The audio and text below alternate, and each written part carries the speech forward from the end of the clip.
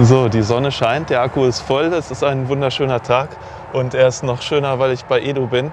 Ich habe in den letzten 20 Jahren zweimal versucht, Kartoffeln anzubauen. Einmal erfolglos als Student in einem Kübel auf dem Balkon. Da kamen nur kleine raus und kaum mehr als die, die ich reingesteckt habe. Und ein zweites Mal, nachdem wir unser Haus gekauft hatten, vor na, zwölf Jahren im Vorgarten, im Garten, im Rasen was frei gemacht. Und ich glaube, da waren ganz viele kleine Löcher in den Kartoffeln, die da waren. Und ich würde es gerne wieder probieren. Und ich habe bei Edo gesehen, du hast hier wunderschöne Kartoffeln. Du bist äh, quasi ein, ein Gartengroßmeister. Oh, wei. Praxisorientiert. Prahl nicht so. Doch, das, das darf ich mal machen. Und ich würde gerne von dir, für unsere Zuschauer erfahren, wie kann man erfolgreich Kartoffeln im Freiland anbauen? Wie bereitet man das Beet vor, vorziehen oder nicht, anhäufeln, wie tief rein und so? Hast du Sortenempfehlungen oder den Boden, Nährstoffe, alles sowas? Das gebe ich dir mit und vielleicht auch die häufigsten Fehler, die man deiner Meinung nach machen kann, so wie ich sie wahrscheinlich gemacht habe. Naja, dann wollen wir mal anfangen.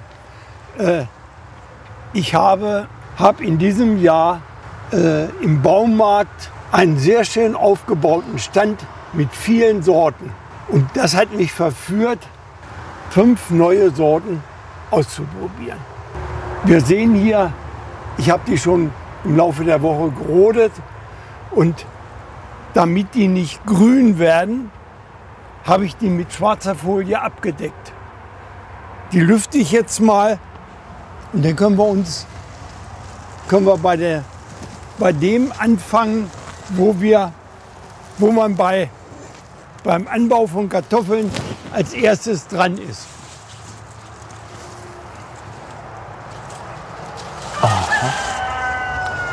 Denn das erste ist, wenn man Kartoffel anbauen will, pflanzen will, anbauen ist ein bisschen übertrieben, aber pflanzen im Garten, muss man sich im Klaren sein, was für Sorten möchte ich haben. Frühe, mittelfrühe oder Einkellerungskartoffeln und möchte ich mehlig kochende oder festkochende.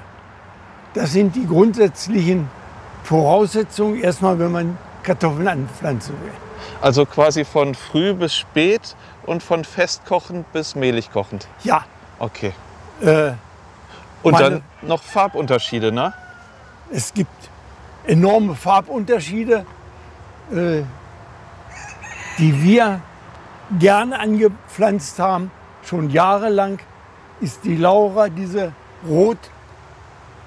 rotschalige, die ist aber mit gelbem Fleisch. Also die ist nur rot außen Oh. und wenn man Bratkartoffeln machen würde, sind die, sehen die gekocht genauso aus wie normale Kartoffeln. Ja. Es gibt aber auch rotfleischige, blaufleischige. Nur äh, für meine Frau und mich kommt das eigentlich nicht in Frage. Aber also die Laura habt ihr schon seit Jahren. Die Laura machen wir schon mehrere Jahre mit Unterbrechungen zwar, äh, aber das ist eine der ertragreichsten Sorten. Okay. Und die anderen hast du neu ausprobiert, weil du die, Die- im Baumarkt gesehen hast? Ja, genau so ist es. Und äh, da hat sich eben, also angefangen bei der ganz frühen, muss ich hier noch mal aufmachen.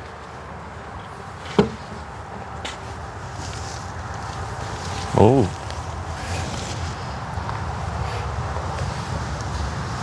Dieses hier ist Laura, Ach so, ja. die beste Pflanze, die ich dieses Jahr hatte.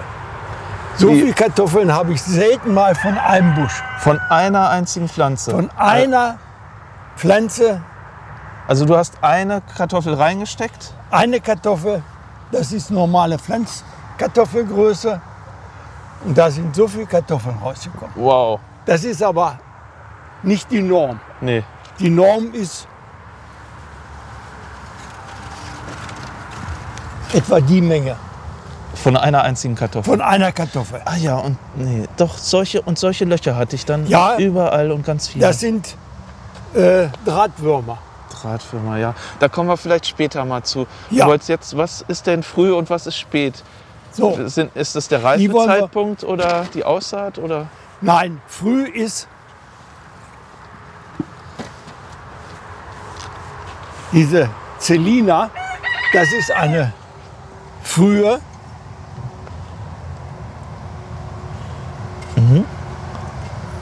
früh heißt, man kann früh ernten? man kann früh ernten. Und Die was, sind genauso gepflanzt wie die anderen. Die sind nur früher erntereif, haben aber auch dementsprechend geringeren Ertrag. was heißt denn bei einer Kartoffel eine frühe Ernte? Wir sind ja jetzt Mitte September oder Die, schon. eine frühe Ernte, wenn man sie, die kann man auch sehr früh pflanzen. Da kommen wir nachher noch mal bei der Vorkultur drauf. Ja. Wenn man die früh pflanzt, ein bisschen geschützt hat, kann man die zum Ende der Spargelernte, kann man hier bei uns schon Kartoffeln ernten. Und das ist dann schon Das ist Juni. Juni. Ende Juni, Wow. Anfang, äh, Anfang Juli, dann kann man hier schon Frühkartoffeln ernten. Wow. Und du hast die aber trotzdem jetzt drin gelassen bis zum jetzt Ich habe schon seit, seit der Zeit geerntet. Ach, du hast immer schon mal welche. Ich habe, wenn, wenn das beginnt, dann rode ich drei Hörste, die verbrauchen wir und dann werden die nächsten drei Hörste ge gerodet. Okay, also man kann sie auch länger stehen lassen. Man kann die auch länger stehen lassen, nur zum Einlagern ist die nicht so gut geeignet. Ah, okay. Also, so der Nachteil ist, dass sie nicht so dick wird oder nicht so Dass viele sie- macht. Äh, ja, dass der Ertrag eben wesentlich geringer ist als bei jeder anderen Sorte. Ja. Auch wenn du sie genauso lange stehen lassen würdest. Auch wenn man sie so lange stehen lassen würde, Ah, okay, so also wie die ist- jetzt. Also es sind sehr, jetzt immer noch sehr viele kleine Kartoffeln drin. Mhm. Einige sehr große auch, aber äh, die Celina, wir werden im nächsten Jahr eine, eine andere Sorte, eine frühe ausprobieren. Okay, Die wollen wir nicht wieder. Da ist einfach der Ertrag ist zu gering. ja. Äh, die Monique ist auch eine frühe, die etwas später zu ernten ist, aber eine sehr schöne, schmackhafte Kartoffel. Auch gelbfleischig, festkochend. Also wir haben nur festkochende. Mehlig kochende haben wir gar nicht dabei, das mag meine Frau nicht. Nee, die würde man Also- für andere Gerichte wahrscheinlich dann Ja, nehmen, ne? nee, also, äh, wir nehmen aber auch die festkochenden für, für Suppen. Unterscheiden sich fest und mehlig kochende überhaupt im Anbau oder nicht? Wahrscheinlich Nein, nicht. im Ne? Anbau gar nicht. Okay, dann brauchen wir da gar nicht drüber Nein, da reden. braucht man gar nicht drüber reden. Ne? Gut. Und äh, die Monique, das sieht jetzt weniger aus als bei den anderen. Da haben wir aber etwa die Hälfte schon aufgegessen. Und die hat euch vom Geschmack sehr gut gefallen. Die hat uns vom Geschmack sehr gut gefallen. Okay. Bei den anderen kann ich vom Geschmack, außer bei Agria, noch nichts sagen. Denn die Agria hatten wir schon mal. Ja. Das ist die, die ist von den hellen die ertragreichste. Ja, und Ähm, viele ne? große, ne? Ja, wenn man sich überlegt, das ist jedes Mal in einer Kiste sind von zehn Saatkartoffeln. Oh. Das war das Interessante bei diesem Angebot im Baumarkt, dass das immer eine Einheit von zehn Knollen war. Ja, da hast du Und jetzt kann man das sehr schön vergleichen. Ja. Also die Agria ist sehr gut im, im Ertrag, mengenmäßig und auch von der Größe sehr schön. Die Otolia, die ist auch gut im Ertrag, aber von der Menge her Kartoffeln weniger als bei der Agria, dafür aber auch sehr große dabei. Sogenannte Pufferkartoffeln. Ah.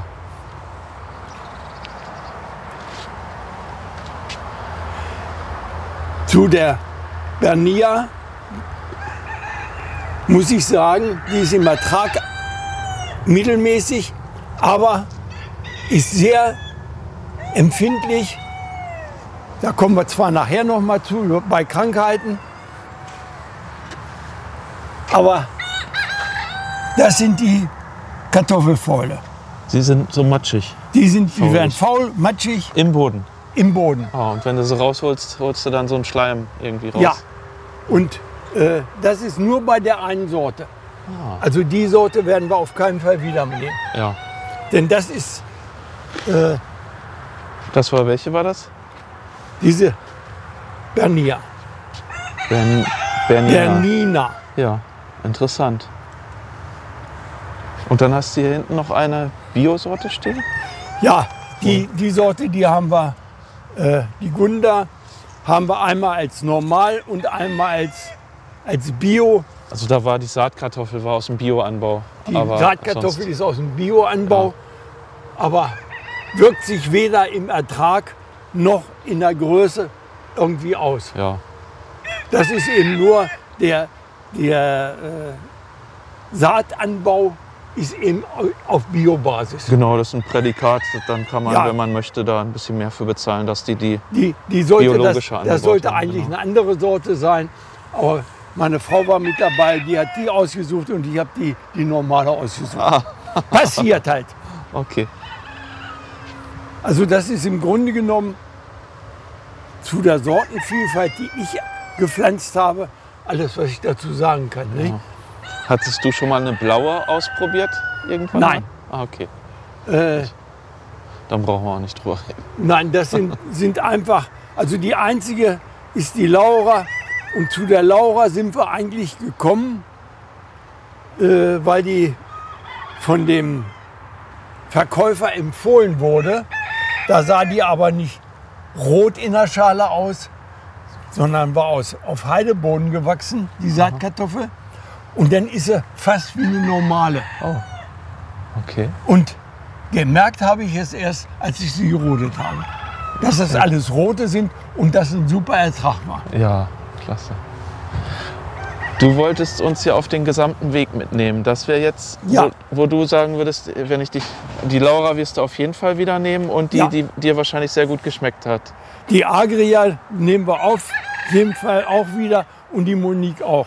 Bei den anderen müssen wir die Geschmäcker erst noch ausprobieren. Oder ihr probiert dann nochmal neue. Ja, Oder- oder, wenn sie euch gut schmecken, natürlich. Ne? Ja, nee, also Außer die, die die Fäule hatte, die Nina, Die die, ist Fäule- draußen. Ne? Die, die nehmen wir auf keinen Fall wieder. Ja. Nee, das ist nicht so schön. Und jetzt würdest du die irgendwie als Saatgut oder wie geht es dann weiter? Bei einigen Sorten würde ich Saat nehmen. Und zwar, warte mal, ich hole mal eine kleine Kiste, dann kann man das besser sehen.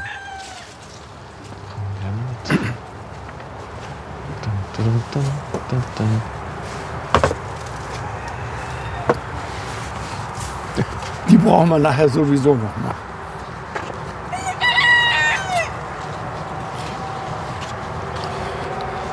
Hier bei der Gunda kann man das sehr schön. Das ist die äußerste Größe. Größer sollen sie auf keinen Fall sein. Ach, Saatkartoffeln sollen gar nicht die größten sein? Nein. Und das sind Ideale. Und warum Also nicht größer? diese beiden Größen würde ich immer als Saatkartoffeln raussuchen. Das wäre mir schon ein bisschen groß. Was passiert Aber- denn dann, wenn die zu groß sind?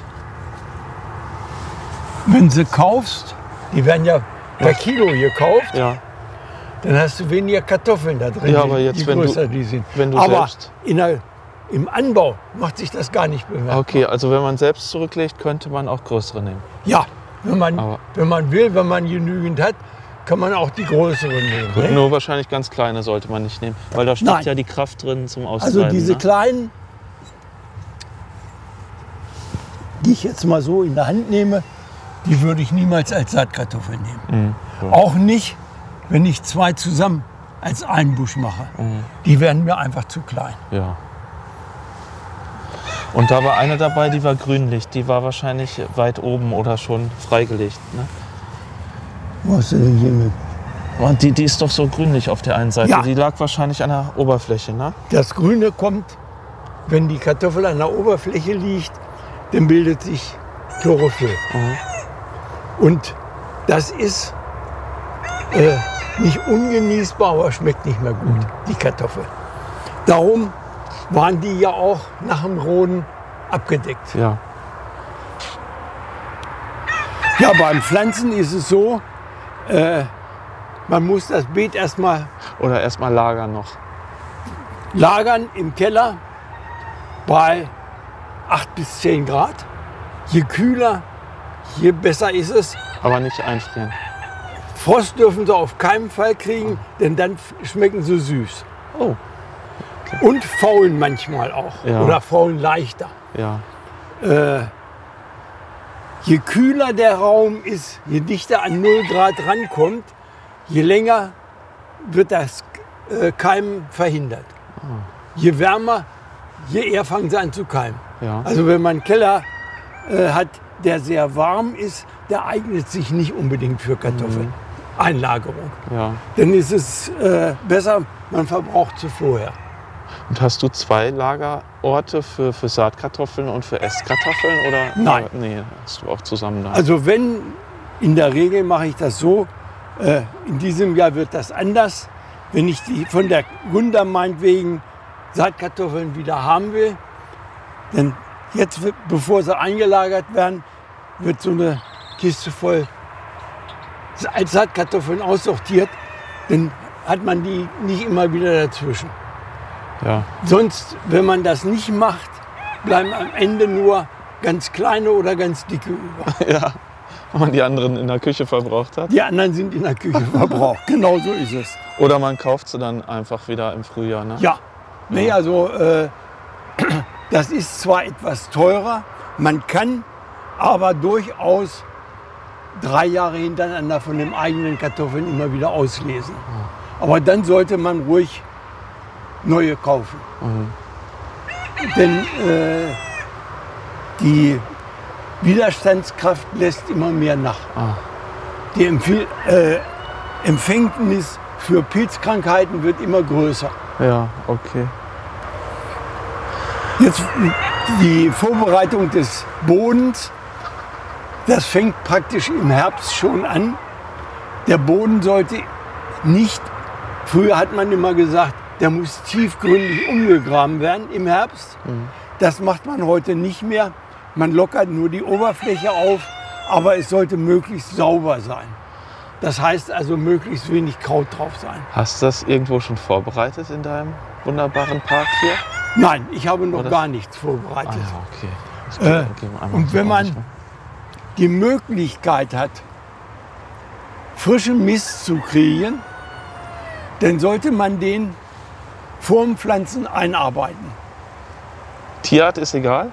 Tierart ist im Grunde genommen egal. Und dann direkt vorm Einpflanzen einarbeiten? Ja, also im ganzzeitigen, am besten ist im ganzzeitigen Frühjahr, sobald man aufs Land kann, den, den Mist einarbeiten, aber nicht tief untergraben. Das ist nicht gut. Aber wenn man hat, äh, einen Kultivator, das einziehen und ein bisschen, dass der, der Mist in im Boden mit ist, Mhm. dann fängt er schon so ein bisschen an zu verrotten. Und dann äh, pflanzt man die auf den frisch vorbereiteten Boden oder in den frisch vorbereiteten Boden. Für mich ist das immer, äh, ich arbeite mit einer Fräse. Ich fräse das Ganze auf, etwa 20 Zentimeter tief. Und da werden die dann reingepflanzt. Reihenabstand 70 Zentimeter und Innerreihe zwischen 30 und 35 Zentimeter. Aha, okay. Und lässt du vorkeimen? Ja, ich keime diese kleine Kiste. Da sind immer die, die vorgekeimt aus, aus diesen Tüten raus. Etwas Erde unten rein. Man guckt dann schon mal, wo sitzen die Augen. Hier ist gerade eine, da ist oben schon der Ansatz einer von Augen. Das ist eigentlich ungewöhnlich. Ja. Um diese Jahreszeit sind die eigentlich keine. Aber hier kann man das zur Demonstration, ist die extra so gewachsen. Und dann legt man die so in die Erde oder auf die Erde, dass die Augen nach oben zeigen. Und dann streut man noch ein bisschen Erde drüber. Die brauchen nicht ganz zugedeckt sein. Und hält das Substrat dann immer schön nass. Und das dann im Licht oder im dunklen Keller weiter? Im Licht. Im Licht, aber noch kühl. Noch- Oder schon wa- Nee, wärmer. Kann ruhig wärmer sein. Und wann darf ich damit loslegen? Im Januar, wenn ich Lust habe und Nein. auf Garten? Äh, damit fängt man an Anfang April.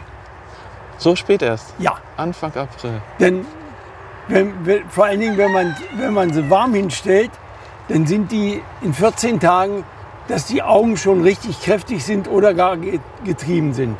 Und vor Anfang Mai sollte man gekeimte Kartoffeln nicht setzen. Denn die kommen ganz schnell raus und die ersten 14 Tage im Mai kann es immer noch Nachtfröste geben. Ja, bis zu den Eisheiligen. Bis zu den Eisheiligen. Aber Anfang Mai dürfte ich sie schon ins Freiland raus. Man kann die dann schon pflanzen, denn die haben ja dann nur vielleicht zwei Zentimeter Triebe. Und so viel kommt die Kartoffel sowieso unter die Erde. Ja, wie tief? Du hast die Reihenabstände genannt und in der Reihe. In und der Reihe wie tief? und in der dann so, dass die Kartoffel mindestens 5 Zentimeter Erde über sich hat. Aha. Ist ja also schon Tiefer nicht. flach, relativ flach. Ja, sogar. relativ flach. Je tiefer man sie pflanzt, je länger dauert das, bis die rauskommen. Also wenn ich eine Furche mit dem Spaten mache, würde dann auch eine Furche von 10 cm reichen. Ja, ich mache das Ganze immer noch konventionell, traditionell mit einer Kartoffelhacke. Ah, Ich hacke ein Loch. Willst du das sehen? ja. Kartoffelhacke habe ich nämlich da hinten liegen. Unbedingt. Ich komme hier wieder her. Das müssen wir da auf dem Gefrästen machen. Ja, machen wir. Ich laufe gerne hinter dir her. Das ist, eine Ach, schöne du Auf läufst gern hinter mir her. das ist eine schöne Auflockerung. Dann sieht man ein bisschen von deinem Garten rechts und links. Von deinen anderen kleinen Gemüsebeeten.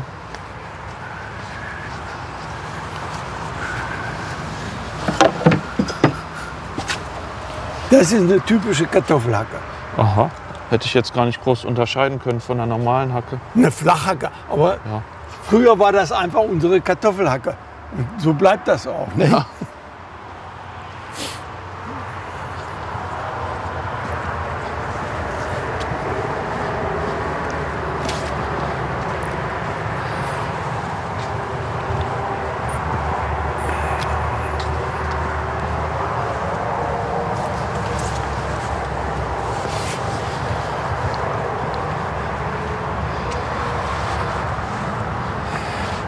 Man teilt das Beet auf, 70 Zentimeter, spannt dann eine Schnur und dann kann man, doch es geht gerade noch, so ein Loch. Das ist schon für, ein, für die erste Saatkartoffel wäre das schon ein Loch. Das ist für die erste Saatkartoffel schon das Loch und man geht dann immer rückwärts. Ich habe es eigentlich falsch angefangen. Das nächste Loch kommt dann dahin.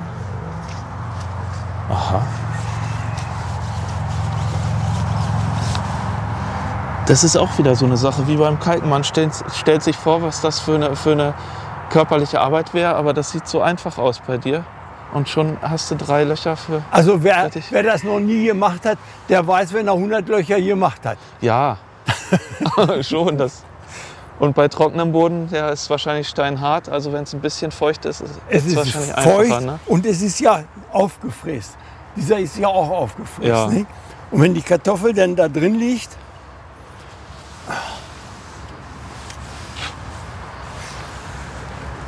dann legt man die, also wenn sie ungekeimt und nicht vorgekeimt sind, kann man sie so reinschmeißen.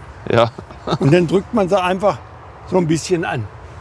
Wenn sie vorgekeimt sind, Dann das Auge nach oben. Ne? dann kommt das Auge nach oben und dann muss man sie auch vorsichtig legen. Damit man das nicht abbricht. Sonst ne? bricht man alles wieder Ja. ab. Und dann legt man die schön da rein und drückt sie so ein bisschen auf den Boden fest. Und dann wird das Ganze so zugemacht. Mehr nicht. Mehr nicht. Guck mal, und hier ist noch einer, oder? Da kommt noch mal eine kleine zum Vorschein, ja. ja. nee? Und äh, wenn man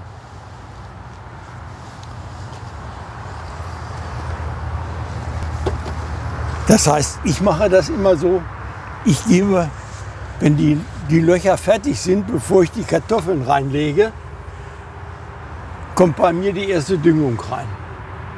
Und zwar mit organischem Volldünger aus Corner oder Hornoska. Es gibt Ah. mehrere Sorten. Hast du es auch da vorne noch stehen?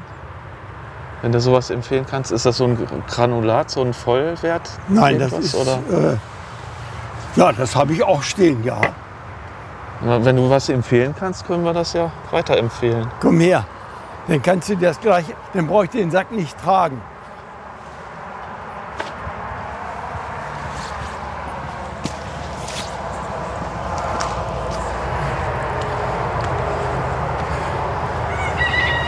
Du hast nachher auf dem Film mehr Spaziergänger als das andere. Nee, das glaube ich nicht. Das.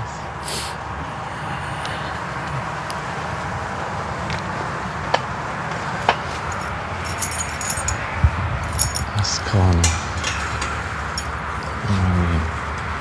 Man merkt, ich war noch nicht draußen.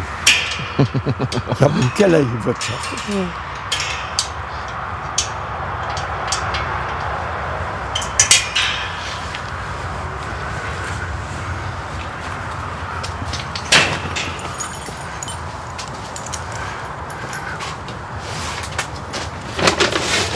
Aus Corner Animalin nehme ich immer.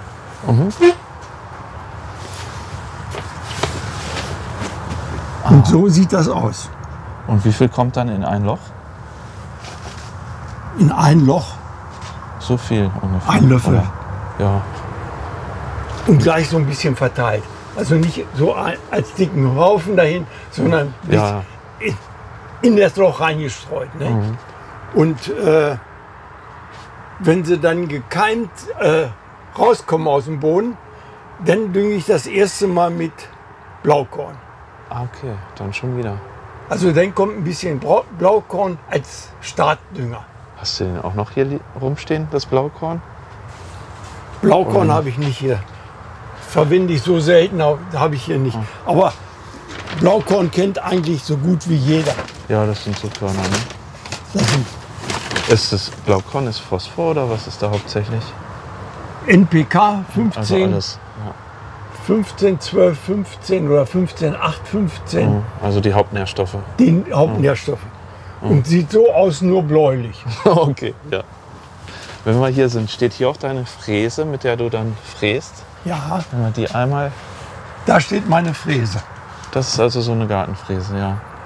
So, ja, wenn, im normalen Garten braucht man das nicht, aber du. Da, für einen kleinen Garten mit 200 Quadratmeter braucht man sowas nicht. Nee. Aber das ist quasi wie ein, wie ein Flug oder ein Grubber in Mini. Ja, Oder, Dann hinten die, die Walzen und die, die lockern das Ganze auf. und das zieht sich dann selber, du musst quasi nur noch lenken. Ich brauche nur noch brauch nur lenken und spa hinterher spazieren gehen, Ja. Wenn es mal so einfach wäre. Und die benutzt du auch relativ häufig, um immer wieder die Beete dann. Ja, Das ist mein Bohnenauflockerer. Was anderes mache ich nicht mehr. Ich flüge nicht mehr. Äh, ich fräse nur noch. Ja, interessant. Ja, mit so einem Teil habe ich noch nie gearbeitet. Ja, gut, dann. Ist auch schon ein paar Tage alt. Ja. Stammt aus dem Anfang der 60er Jahre. Oh, und läuft immer noch. Läuft immer noch, ist zwar ein neuer Motor schon mal drauf gekommen, aber läuft immer noch. Was ist das für eine Firma? Agria. Agria. So wie die Kartoffelsorte, genau so heißt die auch. Ah, okay. Ist eine süddeutsche Firma. Schön. Ist ja 60er Jahre, 40, 50. Also 60 Jahre hält, tut dir das Ding schon gute Dienste. Ja, das ist eben deutsche Qualitätsarbeit. Die Firma gibt es heute übrigens auch noch. Ja.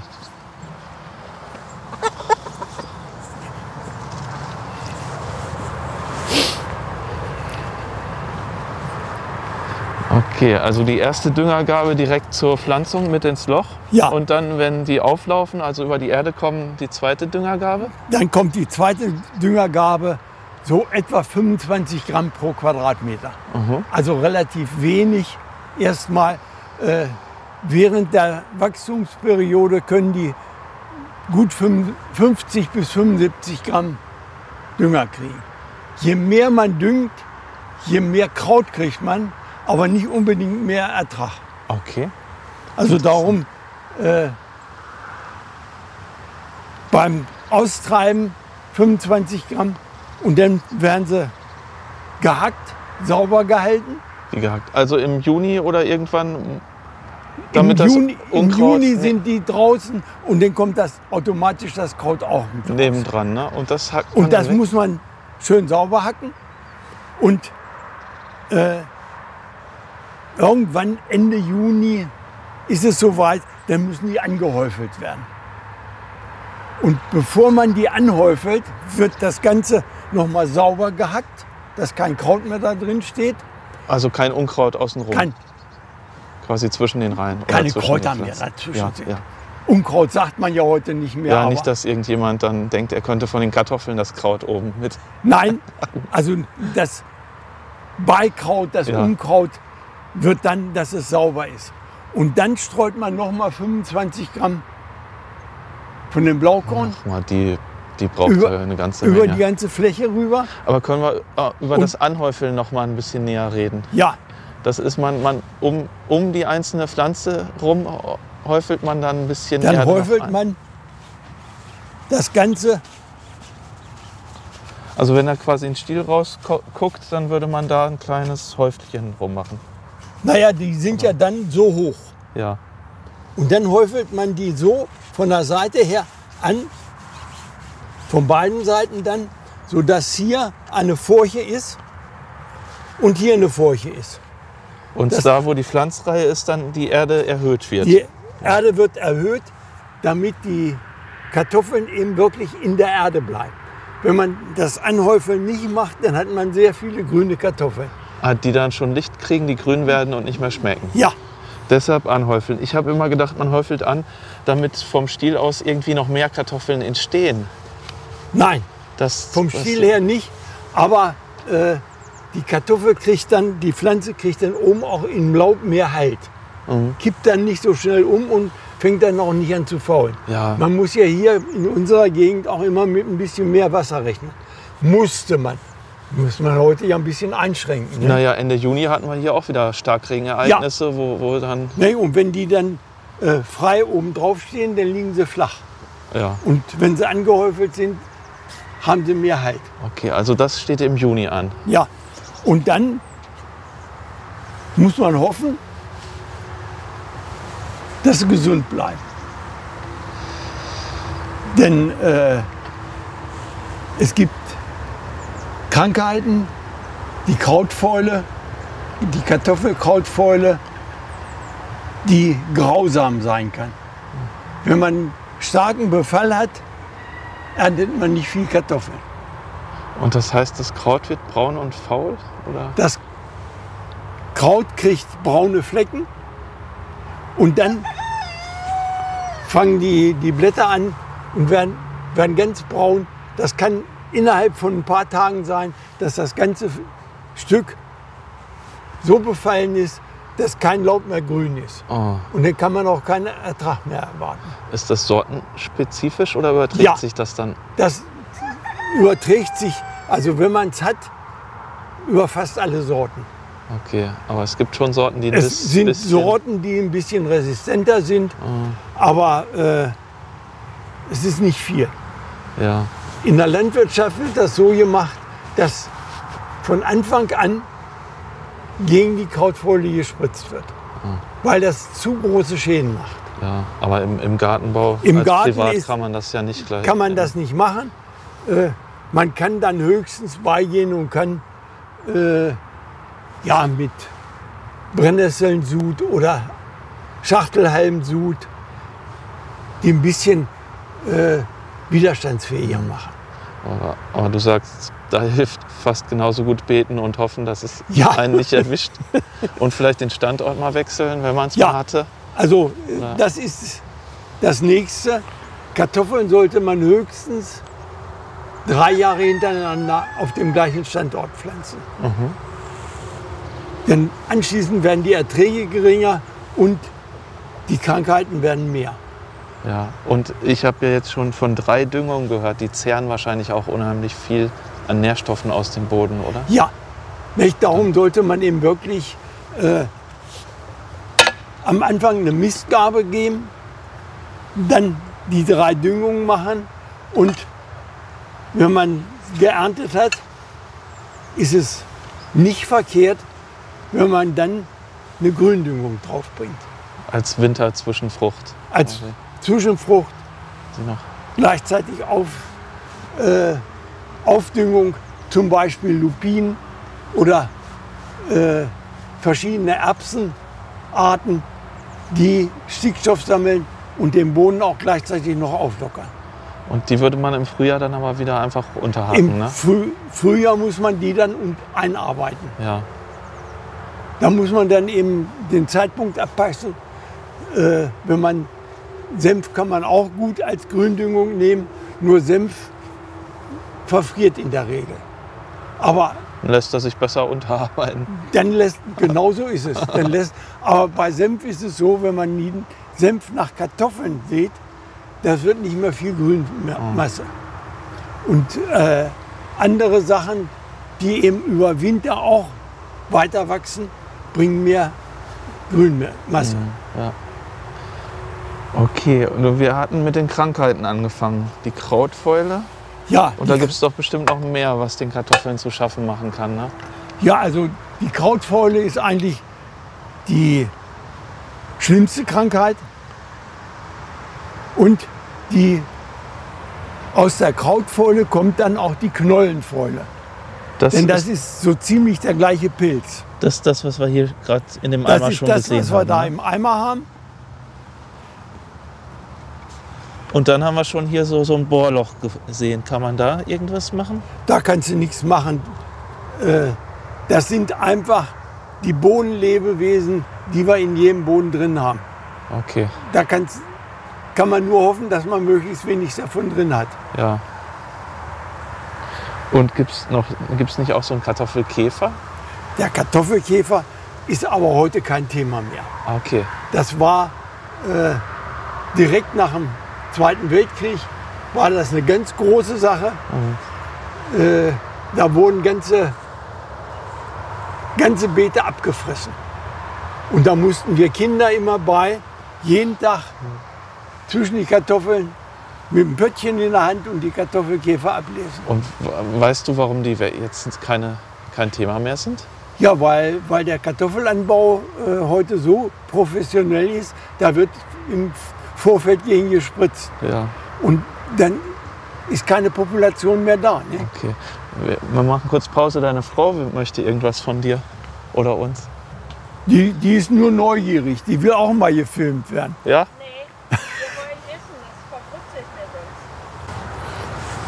das. Okay, also wir sind jetzt im Juni, Juli schon im Anbau. Im Anbau, dann ist gehäufelt und dann braucht man im Grunde genommen bis zur Ernte nichts mehr machen mit den Kartoffeln. Dann darf das Beikraut mitwachsen nach dem, im Juli und Das August. wächst dann nicht mehr, weil die Reihen vollkommen geschlossen sind. ah, ja, dann nimmt. Das ist ein Kräuterdach, das ist dicht und dann kommt kein Kraut mehr. Weil die Blätter von den Kartoffeln einfach, die Ja, Pflanzen die sind, sind- so groß, dass das Die sind so groß, dass kein Kraut mehr hochkommt. Ja, gut. Gefährlich wird es, wenn die Kartoffeln absterben und es war dann kleines Kraut, drei, fünf Zentimeter hoch. Das war ja unterdrückt. Das kann dann gefährlich werden. Ist bei mir in diesem Jahr, du hast es ja gesehen, dann war das Kraut ist weg und anschließend begrünt das ganze Kraut das Beet wieder. Ja, Und dann kann man schlecht roden. ja. Ist aber gleich wieder eine Gründüngung, die man. Die, ja, die kann man hatte, dann, ne? Wenn sie noch nicht blühen, kann man die als Gründüngung wieder unterbringen. Ja, und woher weiß ich, wann ich ernten kann? Wenn das Kraut abgestorben ist. Okay, Also das Kartoffelkraut. das Kartoffelkraut. Wenn die Kartoffel blüht, dann kann man anfangen mit Ernten bei den Frühkartoffeln. Bei den Frühkartoffeln, wenn die Fängt- Kartoffel blüht. Wenn die Kartoffel blüht, dann kann man in jedem Fall ernten. Okay, und bei den Nicht-Frühkartoffeln? Bei den anderen ist es so, am besten ist das, wenn das Kraut abgestorben ist. Die grünen Blätter. Die grünen Blätter abgestorben sind, das kommt zum Spätsommer immer Also Ende September oder End- Mitte, Mitte September. Mitte September. Also Erntezeit ist immer so zweite äh, Septemberwoche. Für, ja. Jetzt verzögert sich das ein bisschen, kann man auch in dritte Septemberwoche. Ne? ja, da sind wir jetzt quasi. Ne? Da sind wir jetzt. Jetzt ist eigentlich ideale Erntezeit und ernten möglichst, wenn es nicht regnet. Wenn es nicht Dann macht regnet. das nämlich keinen Spaß. Und dann Spaten oder Gräpe und dann einfach Mit einer Gräpe. alles raushebeln. Ich habe ja hier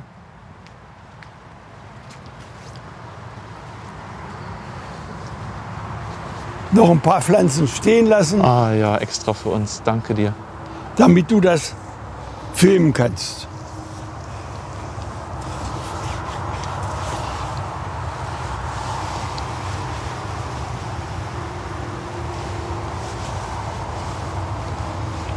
So kommen die dann da raus. Das ist sogar eine von der Sorte, wo eigentlich nie so viel drin, drunter sind. Da sind auch viele kleine, ne? aber auch ein paar Noch viel, schöne. relativ viele kleine, aber mittlere Größe ist auch ganz schön. Und ab und an sticht man mal eine auf oder kaputt. Ne? Aber das, Das sollte man möglichst vermeiden, denn die Faulen, die kriegen sofort schwarze Ränder. Ja, aber man, man sieht doch oben nicht, wo Kartoffeln sind. Oder hast du da im Ja. Gefühl schon, Da muss man ein Gefühl für haben. wenn du noch siehst, wo der, wo der Stiel rauskam, Wo der Stiel bisschen, mit ein rauskommt. bisschen Abstand? Da geht man ein bisschen Abstand bei und rodet die dann. Ne? Mhm. Und dann muss man an den Seiten noch mal ein bisschen nachstochern. So, Ach, und wenn die gar nicht so tief sind, ist es auch gut, dann kriegt man sie auch besser wieder raus. Ne? ja, Wenn man zu tief pflanzt, sind die anderen, die neuen Kartoffeln dann auch tiefer? die wachsen nach oben dann. Die wachsen nur in dieser, dieser Tie- das so diese 10, 15 Zentimeter ist das die Tiefe, die, die eigentlich nachher mit Kartoffeln belegt ist. Das ist der Horizont, ne? Ja. Da- Darf ich mal da an deinem Fuß sehe ich noch so ein Blaukorn, glaube ich. Wenn das das ist, oder ist das was anderes? Nee, nein, das ist Blaukorn. Plastik. Blaukorn kannst du nicht mehr finden. Ja, okay. Ich dachte, das sehen wir auch. Blaukorn löst sich sofort auf. Gut, dein Mittagessen ist fast fertig, aber ich würde noch die, gibt es die drei häufigsten Fehler im Kartoffelanbau, die man einfach vermeiden kann? Ja, äh, man pflanzt zu dicht. 70 Zentimeter Reihenabstand ist das, was man eigentlich einhalten sollte. Die Landwirte pflanzen heute 80 Zentimeter auseinander. Man kann sie aber auch 60 Zentimeter, nur das ist zu dicht. Ja. Und Und dann in der Reihe. in der Reihe unter 30 Zentimeter auf keinen Fall. Und dann wirklich nur eine Knolle rein. Immer nur ja. eine, Eine, eine. Knolle in das Loch. Und dann wahrscheinlich die Düngung. Wenn man nicht düngt, dann hat man auch. Wenn man nicht düngt, oder Weniger. je weniger man düngt, je weniger Ertrag ist. Wenn man mehr düngt, über diese 50 Gramm äh, Volldünger rausgeht, hat man mehr Kraut, aber nicht mehr Ertrag. ah, okay. Also nicht. Und wenn man zu früh viel Stickstoff gibt, das heißt also viel Volldünger oder mehr Stickstoffdünger. Volldünger ist ja ein bisschen ausgeglichener. Aber es gibt ja auch Dünger, wo viel Stickstoff drin ist. Dann geht das ins Kraut und dann können die keine, setzen die unten nicht an. Dann wächst, das alles oben raus ins Kraut. Man hat so hohe Kartoffelkraut Und dann schießt es quasi durch den Ja. Stickstoff. Durch den Stickstoff. Weil die Pflanze denkt, ich habe so viel Stickstoff, ich kann mal rechts ordentlich ja, Kraut ich machen. kann ordentlich wachsen. und dann ist und der Stickstoff weg sie aus der vergisst Düngung. die Knollen. Ja, okay. Es muss ein ausge, ge- ausgeglichener Stickstoff, Kali-Phosphor-Verhältnis sein. Muss man die Kartoffeln in der Trockenzeit gießen oder sind die so tief drin und wurzeln Äh, gut? Das, Musste man früher nie, aber wir kommen immer mehr in Zeiten, dass man auch hier auf unserem Boden äh, während Trockenperioden ordentlich gießen muss. Mhm, okay, Denn wenn es zu trocken ist, gibt es auch keinen Ertrag. ja, das stimmt. Und wenn man das Anhäufeln vergisst, bekommt man halt Kartoffeln mit Chlorophyll, die nicht mehr schmecken. Ja, ne? Das ist dann auch sehr blöd. viel Grün dran. Und äh, man muss eben vorsichtig sein, wenn man in diesem Jahr die Knollenfäule hatte auf dem Stück, sollte man im nächsten Jahr möglichst keine Kartoffeln wieder hinpflanzen. Ja, dann, und du wechselst jetzt auch nach, nach drüben, Ich, ne? ich wechsle dann auf das andere Stück. Ja. Ja, Im Grunde genommen äh, wäre höchstens noch vielleicht interessant, war für mich immer sehr interessant, wo kommt denn die, die Kartoffel her? Die kommt aus Südamerika, wurde mit den Spaniern nach, der, nach Kolumbus nach Europa gebracht, war dann im Anbau und wurde ganz schnell wieder vergessen, weil man statt der Knollen die Früchte gegessen hat. Oh, Und die sind giftig. oh. Da gab es viele Vergiftungen und waren dann, dann sind Jahrzehnte, eventuell so- sogar hunderte Jahre, so gut wie gar keine Kartoffeln angebaut. Bis man gemerkt hat, man kann diese ollen Bis Knollen man dann kochen irgendwo wieder ge- gemerkt hat, Knollen kann man anba- machen, wenn man die Erdäpfel isst. Mhm. Und die Erdäpfel sind ja sehr nährstoffreich. Und äh, der hier in Norddeutschland die Kartoffeln wieder zum Anbau gebracht hat, war Friedrich der Große. Der hat im Osten seiner Provinzen, wahrscheinlich in Mecklenburg-Vorpommern oder da, äh, den Bauern regelrecht befohlen, Kartoffeln anzubauen. Mhm. Und da, dadurch sind die dann so breit gekommen. Ja, und heute Und- kann man sich das gar nicht mehr vorstellen, Leben ohne Kartoffeln. ne? Ja, Das, aber äh, eine Tragödie hat es auch gegeben mit Kartoffeln in Irland. Das muss 1850 ungefähr, ich weiß die Zahlen nicht genau, aber in der Zeit gewesen sein. Da ist diese Krautfäule und äh, dann auch die Knollenfäule dermaßen stark aufgetreten, dass sie so gut wie gar keine Kartoffeln geerntet haben. Da sollen Tausende von Menschen verhungert sein. Und da sind, da war dann die große Auswanderungswelle aus Irland nach Amerika, Ah. ist da gewesen. okay. Ja, Das ist noch so bei mir im, im Gedächtnis aus, aus der Lehrzeit. ja. Da hat mich das nämlich immer interessiert. Okay. Mensch, ganz herzlichen Dank, Edu, für die vielen Tipps. Ich, das, das ist so klasse. Danke, danke Edu, danke. Alles klar. Ich glaube, nächstes Frühjahr probiere ich das auch mal wieder. Irgendwo so einstreifen. Ja, Eigene Kartoffeln. wenn Okay. du das willst, machen willst, dann würde ich den Streifen jetzt im Herbst schon umgraben. Ach ja, ja, gute Idee. Ja, Denn du hast ja jetzt Rasen ja. und den, den Rasen kriegst du im Frühjahr nicht, nicht fein genug. Nee. Und brauchen die denn viel Licht? Oder können die auch so Halbschatten wie bei dir hier? Am liebsten, am besten wachsen sie Volle Sonne. volle Sonne. Okay, na gut. Also die erste Reihe hier im Schatten der Bäume war am schlechtesten im Ertrag. Ja. Okay, dann haben wir das auch noch mit abgedeckt. Ja, Deine Frau wartet mit dem Mittagessen auf dich. Sie hat eben schon Alles klar. Also, Benedikt, mach's gut danke. Und sieh zu, dass, dass der Film gut ankommt. Ach hier, komm, Das Mikro, ja. dein Mikro. Danke. Ich kann da nichts mit anfangen.